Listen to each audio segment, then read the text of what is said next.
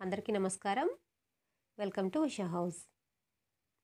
Chicken ఫ్రైని ఇంట్లోనే రెస్టారెంట్ల కంటే ఎక్కువ టేస్ట్గా తక్కువ టైంలో ముక్క మరీ గట్టిగా లేకుండా అలా అని ఏ ముక్క ముక్క మంచిగా ఉండాలి కదా విడిపోకుండా మంచిగా ఏ పీస్ కా పీస్ ఉండి ఇలా సాఫ్ట్గా నోట్లో వేస్తే కరిగిపోయేలాగా చాలా రుచిగా ఎలా ప్రిపేర్ చేసుకోవాలో ఈ వీడియో చూపించానండి.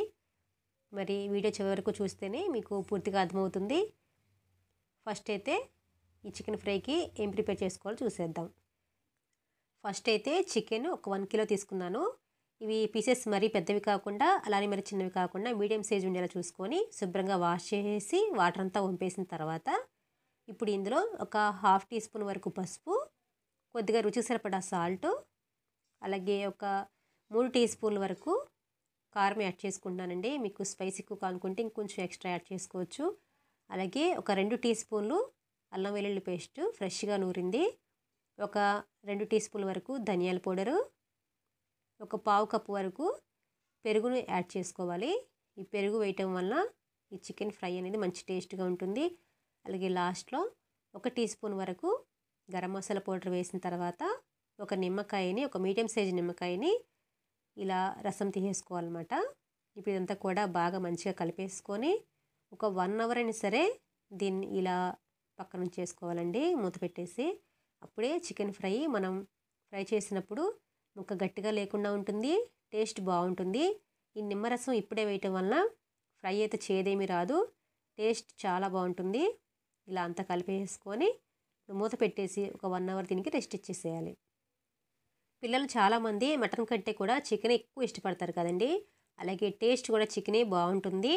మరైతే ఇప్పుడు వన్ అవర్ తర్వాత స్టవ్ ఆన్ చేసి కళాయి పెట్టుకొని అందులో ఒక four five tablespoons oil వేసుకొని ఆయిల్ హీట్ అయిన తర్వాత మనం ముందుగా మ్యారినేట్ చేసి పెట్టిన చికెన్ అంతా కూడా ఇందులో వేసుకోవాలి.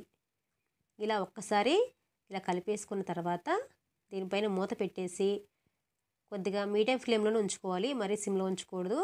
మీడియం ఫ్లేమ్లో ఒక టెన్ మినిట్స్ అలా వదిలేస్తే ఇందులో నుంచి అంతా ఇలా వాటర్ ఊరుతాయి అన్నమాట మనం ఇందులో అస్సలు వాటర్ పోయకుండా ఈ వాటర్తోనే చేసుకోవాలి.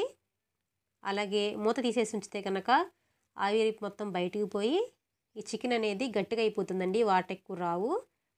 ఇప్పుడు మళ్ళీ మూత పెట్టేసి ఒకసారి కలిపిన తర్వాత మళ్ళీ మూత పెట్టేసి ఇలా ఇంకొక ఫిఫ్టీన్ మినిట్స్ అలా వదిలేసుకుంటే ఇలా వాటర్ అంతా కూడా ఇంకిపోయి చక్కగా ఆయిల్ బయటకు వస్తుంటుంది కదా ఇప్పుడు స్టవ్ని లోలో ఉంచుకొని అంతా కలుపుకుంటూ ఇలా ఇప్పుడు మూత తీసేసుకో ఉంచుకోవాలన్నమాట మూత పెట్టకూడదు. ఇప్పుడు దీన్ని ఇలా ఫ్రై చేస్తూ ఉండాలి. ఇలాగే లాస్ట్లో చికెన్ బాగా ఫ్రై అయిపోయిన వరకు కూడా ఉంచుకోవాలండి. మధ్య మధ్యలో కలుపుతూ ఉండాలి. మరి ఎక్కువ కలిపేస్తే కనుక ముక్కంతా కూడా చెదిరిపోయి పీస్ పీస్ లాగా అయిపోతుంది. అలా ఉండకుండా చక్కగా ఈ ముక్క ముక్క మంచిగా ఉండాలంటే కనుక మధ్య మధ్యలో కొద్దిగా అలా లైట్గా కలుపుతూ ఉండాలి. ఇప్పుడు మాత్రం స్టవ్ని మీడియం టు లోలో ఉంచుకోవాలి. మరీ హైలో ఉంచకూడదు. లేకపోతే కనుక హైలో పెట్టేస్తే అంతా మాడిపోతుంది. ఇలాగే వదిలేస్తే కొద్దిసేపటికి చక్క చికెన్ ఫ్రై రెడీ అయిపోతుంది అనమాట చూసారు కదా ఇప్పుడు? ఆ వాటర్ అంతా పోయాయి. అలాగే ఆయిల్ కూడా బాగా అబ్జర్వ్ చేసుకొని ముక్కంతా కూడా మంచిగా ఫ్రై అయిపోయింది. ఇప్పుడు లాస్ట్లో కొద్దిగా సన్నగా తిరిగిన కొత్తిమీరని యాడ్ చేసుకోవాలి.